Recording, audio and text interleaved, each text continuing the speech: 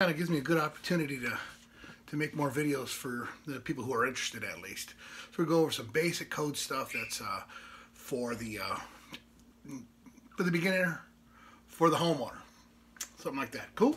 All right. And I'm going to read from it, so I'm just not going off the top of my head like I usually do. So might even sound prepared, but let's just go over a few things, shall we? Here we go.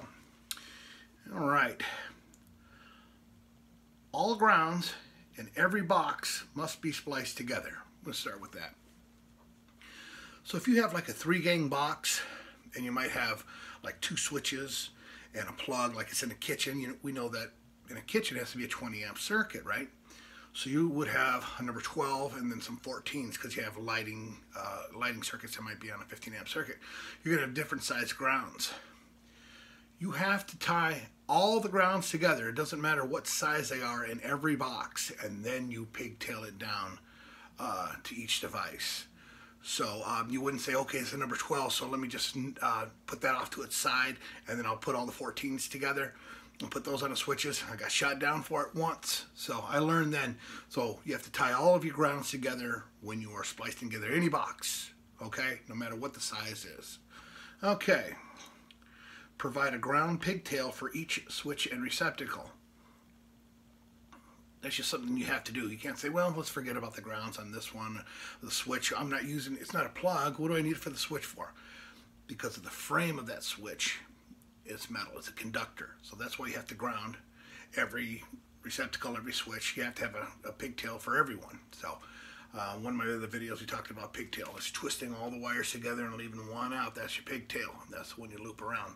So I have another video about uh, parallel and uh, series and plugs and stuff like that. So there's that one. Okay. Ground all metal boxes with an independent green screw or other approved device. In metal boxes, uh, some have what they call a tit. It's um, it's stamped inward, so it, you can tell exactly where the ground screw goes, and they make ground screws for it. They're green ground screws. Believe it or not, so long as it's the right thread or what have you, if you color that green that screw green, it's designated as a ground, it's approved, but you're better off using a green ground screw. They have ground clips that clip onto the side of the box. You slide your wire through them, and the wire pokes right out the side of the box, and you push them onto the steel box. But for me, I never liked those because of a plug, if you got to take it out, move it to one side or the other, it could short out on that. That's just that makes it just that much more narrow for you to put your device in and out. So I'm not real big on those, but uh, so okay. Minimum six inches of wire length in boxes, including ground wires. So if you have your boxes, this is the outside of your box, let's say, the wire coming out from it, six inches. Six inches of free conductor. So you pull it out, six inches, you're good. You don't want much more because you've got to fold it and fold it and stuff it in that box, and then it's, it's a pain in the ass. It might pop back into the plug and then you get a short circuit. So, okay, non-metallic wire, Romex, is not approved in wet or damp locations. Outdoor raceways and boxes are wet locations. It could go into a box outside, uh, like if you're feeding a uh, weatherproof outlet. So what this is saying that you can't have it in a damp location like it's exposed uh, to the elements. Um, you know, like uh, feeding a outdoor shed or something or other. You, you can't have it exposed. You could have it in pipe. You could have it in a box.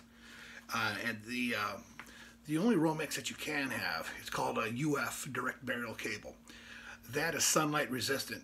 You can you can bury that right in the ground without pipe, but still because it's uh, it's you you might hit it with a like your lawnmower or something. Let's say it's the exposure you can't have it exposed to anything. You have to have it with in pipes. If you had that Romex coming out, even though it's sunlight resistant, something might hit it and then you can get a short. So it's it's used underground, but coming up where it's for uh, the exposure, um, that's where you need uh, you know it to be in a raceway, like a pipe or in a box. Okay. All right. Don't install switches, receptacles, or fixtures in boxes for the rough inspection. This allows inspection of splices. devices are installed after drywall, so devices ears rest on top of the plaster of the drywall. People will put those plugs and switches in, and I've been asked to do it as well, so they can use those plugs uh, while they're drywalling. Well, for one, they'll sit inside uh, like a you know half inch drywall. They'll sit half inch deep, and then try to try to get a cover on that. I dare you, it, it won't happen or they'll be really loose. Uh, each plug, if you try to pull it out, it's just, you can't do it. Also, with doing that, I, uh, I used to do some work for Home Depot, the Rehab and Ready program here in Detroit, and uh, they, um, you're fixing up houses for low income people, what have you.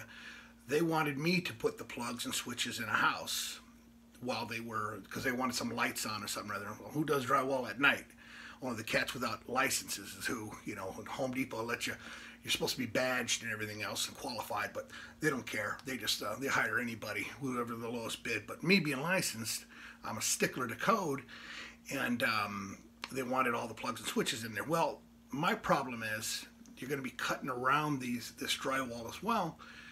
You could stick your razor knife or your drywall saw inside that box and then get zapped. And I don't want the liability of killing anybody because they wanted me to do this. So what's allowed is a GFI for like a dedicated circuit. So you'd have one for a dishwasher. I'm going to put that GFI in there anyhow. It's going to be surface mounted for the to be underneath the cabinets. So I'll do that. Maybe a bathroom plug. Then when drywall comes, I'll take it out and fix it so it's uh, they have these these boxes that uh, when you screw into them or unscrew them, they come out. They come out like an inch or so. So you couldn't drywall over that anyways. So that's what that means. So also so that the inspector can inspect the wire. He wants to see that you spliced everything together. Um, he wants to make sure that you did it correctly, that you have the right size wire.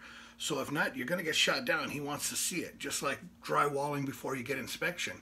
They'll make you take down the drywall if, uh, and you know, I don't blame them who's to say how you did it, if you did it right or what have you. Um, you know, I think I'm going to stop there because I got a lot of information. We're approaching, you know, 10 minutes. But anyhow, but uh, yeah, I'm going to keep on doing these. This is kind of fun, and it's something to do while I'm uh, doing nothing. So, I don't know if I'm doing nothing.